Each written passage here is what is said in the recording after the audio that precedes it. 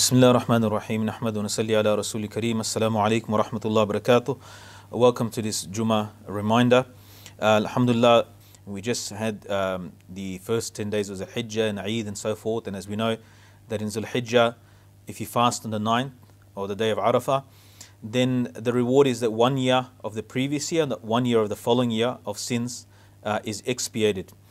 And this is out of the rahmah, the kindness of Allah subhanahu wa ta'ala upon this ummah that we've been given so many special days, so many special months in which um, really if a person applied himself even a little bit, a few days here and a few days there, um, a little bit in the morning, a little bit in the evening, a person will attain uh, not just forgiveness of sins, uh, which is also a very huge thing if all your sins are wiped out, uh, but uh, attain very high level and grades uh, in paradise, inshallah ta'ala, and very high grades of the rida of Allah subhanahu wa ta'ala, the pleasure of Allah subhanahu wa ta'ala. So now we're in the month of, uh, at the threshold of the month of Muharram. Um, so the month of Muharram uh, is a special month. It's also the beginning of the uh, Islamic uh, year or Islamic uh, calendar, the Hijri calendar. And Muharram is one of the four uh, holy months that has been explicitly mentioned. And it's mentioned in the Quran, mentioned in the Hadith of the Prophet sallallahu alaihi wasallam. the three of them, the Prophet sallallahu alaihi wasallam, the Prophet sallallahu alaihi wasallam said, uh, one year consists of 12 months, uh, of which four are sanctified. They have hurma, they have sanctity. Uh, three of them are in sequence Zul Qa'dah, Zul Hijjah, and Muharram. And the fourth is uh, Rajab, uh, which is not, which is separate by itself, which is the month, two months before Ramadan. Um, it doesn't mean that the, these months are just. Um, uh, that the other months don't have any sanctity or specialness because Ramadan is one of those other months. That means from that we understand that all the months have, but Allah subhanahu wa ta'ala has singled these months out and they have a sanctity. Even to the pagans of Makkah, they held these months in the mushrikeen, the idol worshippers of Makkah, they held these months in high esteem because they've inherited aspects of the, they had in, in, inherited the as, aspects of the Sharia, uh, the law of Sayyidina Ibrahim alayhi salam. But Allah subhanahu wa ta'ala, He chooses certain months uh, for His special blessings, special forgiveness, special uh, expiation, kafara of sins for the people to forgive their sins. Uh, thus, therefore, we should um, make it a point um, that even the mushrikeen held, gave importance. They would not fight, fight any of their wars, their tribal wars in this month, because they had sanctity. Sins are bad, always. Sins are haram, always. But when it's a special place or a special time, then it's even more offensive. Therefore, we should not just go through these months like as though um, you know they're like any other month uh, of the year. Uh, of course, the months in the Islamic calendar are divided, are decided according to the lunar calendar, based on the uh, appearance and disappearance of the beginning of the new. Uh, each month starts with the beginning of the new uh, hilal or the crescent. Um, and the as opposed to the Gregorian calendar, generally what we do our work and so forth in Australia, uh, January till December calendar is based on the solar uh, calendar. Um, and these months also have been incorporated, uh, although their origin are from Sayyidina Ibrahim alayhi salam, their sanctity, but they are incorporated into Sharia, Sayyidina Muhammad sallallahu alayhi wasallam. So in this month, the Prophet sallallahu alayhi wasallam said, the best fasts are the fasts of Ramadan. We know that it's fard upon us, and um, and after the fast of Ramadan are those that are uh, in the month of uh, uh, Muharram. So the best fasts the, after the fast of Ramadan are the fast of the holy month of Muharram. Um, the fast of Muharram are not uh, obligatory; they are nafal. And if a person was to make a point to fast the whole month, they can do it. There's no restriction. A person can take as many as rewards as the person wants. Uh, if, if we push ourselves, then we can get more. Uh, those who work harder, they will achieve more. It's a rule of this world, whether it be for deen or dunya. Um, uh, but the reward of that does not mean that you cannot you can't achieve the reward in other months as well, um, based on uh, it being a nafal.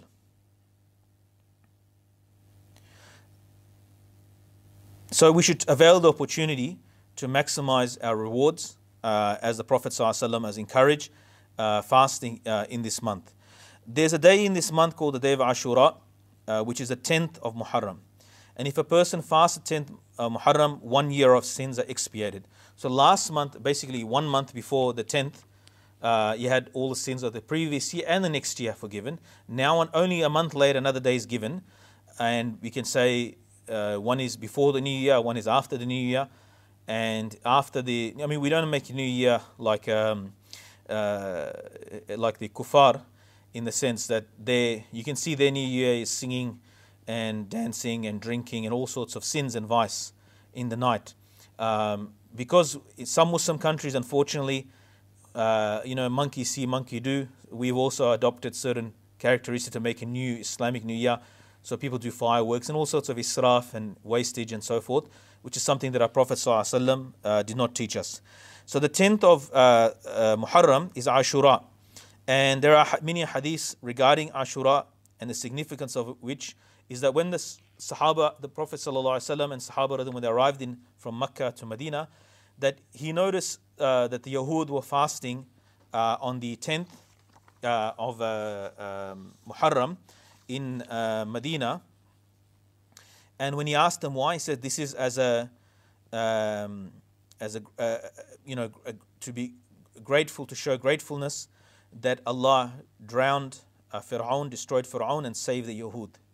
So the Prophet ﷺ said, We have more right to Musa ﷺ than you. Because we are the Ummah of Tawheed. We follow Sharia of Allah subhanahu wa ta'ala. We don't make Sharia of man made, we don't f- follow man made laws. Uh, when it comes to, you know, the, when there's a, when Allah's law is there and a human being's law is there, we follow the law of Allah subhanahu wa ta'ala. Unlike the Yahud, who have abandoned the uh, Torah, they've abandoned the way of Musa alayhi salam. So we have more right to that day uh, than you do. So Allah, Allah subhanahu wa ta'ala instituted through Rasulullah sallallahu that that day they say the Musa alayhi salam. And this is something for us to reflect. How did Musa alayhi salam and uh, Bani Israel got saved? What are the things that they did? It's something that this ummah should look at. Allah subhanahu wa ta'ala has mentioned Musa alayhi salam as the most mentioned Nabi in the Quran and Bani Israel the most mentioned ummah uh, in the uh, Quran. And the reason is because we're the most similar. So, and the Prophet ﷺ warned us that we're going to make all the mistakes, all the things that, if you read the Quran, the history of Bani Israel, who were at the top when they arrived in Egypt, when Yusuf, uh, when Yusuf and his brothers arrived in Egypt, they were the ruling, class, they became the ministers and advisors because of Yusuf alayhi salam. They had a very respectable position, mm, Yusuf alayhi salam. As generations and generations passed, and they increased into hundreds of thousands, by the time that Musa alayhi salam, or just before Musa alayhi salam, the degeneration and corruption in Bani Israel, the rot had set so much in them. They were themselves so far away from Allah and Deen. Eh, the conditions were not brought upon them because of things, because they became disobedient, they became rebellious. So if you look at most of the da'wah of Sayyidina uh, Musa salam and Harun salam is to the Bani, Israel themselves. Then Allah subhanahu wa ta'ala, and very few few conversations are there between Sayyidina Musa salam and Fir'aun. The corrupt Muslims were, had to be rectified. And then Allah subhanahu wa ta'ala, without any fighting, Allah subhanahu wa ta'ala destroyed and dealt with uh, Sayyidina, uh, the Musa alayhi salam's enemy Fir'aun. So it's something for us to reflect how they were saved. Not just miracles happened. There's a background to this whole incident we should study. So the Bani Israel, when they came in, they came in an honorable position through Sayyidina Yusuf and then they reached the time also their sons were being killed, their women were allowed to live, they were humiliated, they were taken as slaves, um, tortured, and mistreated. What happened in between? How did they end up from that? place? Because you Sayyidina Yusuf salam and his brothers, when they came, they established justice. They were respected people. People looked up to them. But over time, the Bani Israel became corrupted. And so Allah subhanahu wa ta'ala put a person like Fir'aun over them and did zulm to them and oppression to them. And the way out for them, as mentioned in the uh, Quran, is they had to learn how to do salat properly, establish salat, seek Allah's help through salat, right? And they had to uh, learn how to rely on Allah subhanahu wa ta'ala. And they had to learn how to make, they were sabr, spiritually, they were trained and trained until the point uh, where Allah subhanahu wa ta'ala, they became deserving of Allah subhanahu wa ta'ala's help. So there's a, a lot of detail to this. So the story of Bani Israel in Egypt at the rise and fall is also our story. The story of the Ummah of Rasulullah that once upon a time this Ummah ruled the world. They were the dominant force And then it became like the bits and pieces and what we have today. That we are bits and pieces in a stage of, state of humiliation uh, where anybody that can speaks about establishing deen and so forth is unable to do so. That you know even Muslims will counter and go against another Muslim who will try to establish or talk about deen uh, in a serious way. And when they do that, even Muslims will call other Muslims narrow-minded and uh, will oppose before any non-Muslim or kafir will come uh, uh, to oppose them. So uh, Ashura is a special day, but also the significance. There's a reason. There's a whole background story to it. So Rasulullah taught us to fast, fast on this day to celebrate, acknowledge that day that Bani Israel was saved from Fir'aun. And Musa alayhi salam, Bani Israel was saved. And also it was um, Rasulullah, but also Rasulullah made our fast different from that of the Yahud. What he said was to fast either the day before or the day after. So the 10th of Muharram is the special, uh, the Ashura is on the 10th. Um, Rasulullah taught us to fast one day before or one day after, the 9th or the 10th or the 10th and the 11th. In that way, we don't resemble and copy uh, the Yahud. Even in Rasulullah such tarbiyah he gave to this ummah, that at every step we have to be careful not to become just imitators and copy what we think is good. And what Rasulullah institutes, like these days, this is Sharia. Anybody comes up afterwards and st- try to establish a special day or a national day and so forth. These are man-made things. These can change. So they're not Sharia, they're not Deen, they're not required. There's no holiness to them. Rasulullah vouched for these days. He's told us these days. It's become part of Deen. Deen is something that is established only through Rasulullah through wahi, through revelation. It cannot be established uh, afterwards. Anything that comes after, any masala, new masala comes, has to be sourced in wahi, in revelation, back to Rasulullah. Also, uh, in this uh, day, there are some misconceptions regarding this day that this is the day of the repentance of Sayyidina Adam salam. It's a misconception, or that Qiyamah will take place on this day, or that uh, one should take a bath. Uh, if it's someone takes a bath on this day, I mean, we make up all these sort of things. People make up that if you take a bath, that you'll not on Ashura, you'll not get sick. Some people make a special dish, a meal, a sweet, uh, so forth. There's no basis uh, for that. Um, these are just made up things people make up. There is a narration that, um, although some ulama have considered reliable, others have considered very weak, the chain of narration being weak, that in this day to be generous or extra generous uh, to one's family, uh, but providing more food to them on this day compared to other days. And if a person generous, Allah subhanahu wa ta'ala be uh, generous to that person. Uh, but it's not a very strong narration. Other people, unfortunately, have made it a day. Uh, some people considered uh, Muharram, na'uzubillah, to be uh, a month of bad luck because Sayyidina Hussein radiallahu anhu, a historical incident where he was made shaheed in this month, specifically on the day of Ashura.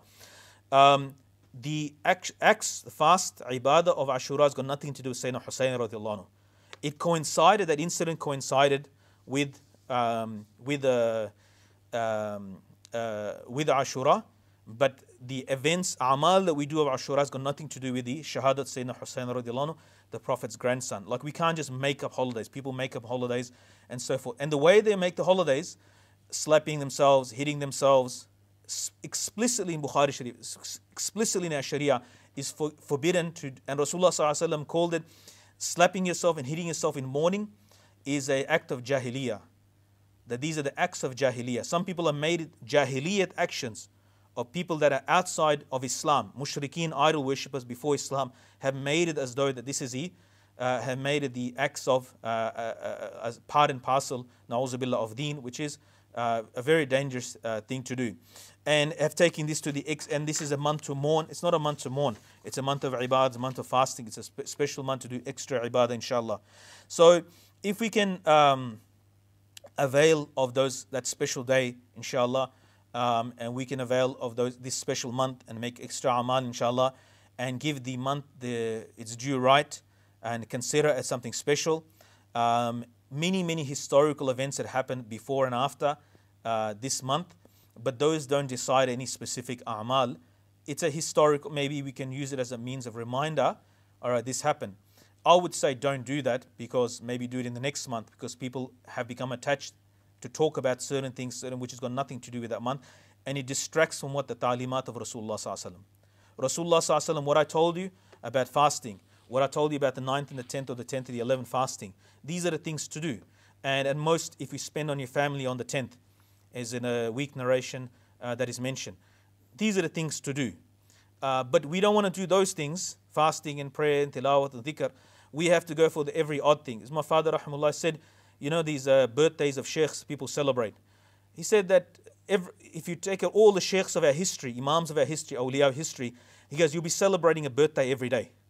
So this, there's no limiter. So Sharia has put guidelines of which days are special, which days are uh, uh, Rasulullah himself from Allah subhanahu wa ta'ala taught us the days. Now those people that want to make other days um, and so forth, and you know, and but all right, uh, you know, people want to make Harmony Day and God knows what else that Muslims are adding, we're piling it on. Um, but uh, we, as a Muslim, um, we will be rewarded for what Rasulullah said that we'll be rewarded for. Therefore, those teaching we should uphold.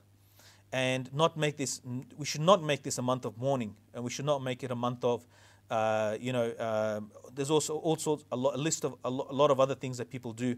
Uh, the dishes, the sweet dishes, this has become, it's like a cancer in some society because nafs is there. We like certain sweets and so forth, and we attach it to a certain day. We have to cook halim, or we have to cook this type of sweet dish or that sweet dish. But it has no basis in Sharia. So Allah subhanahu wa ta'ala forgive us and forgive the ummah of Rasulullah. Allah subhanahu wa ta'ala give us tawfiq and make them maximum benefit, take maximum benefit from this month in ibadah. Uh, may Allah give us tawfiq uh, to practice what we say in here. Wassalamu alaikum wa rahmatullahi wa barakatuh.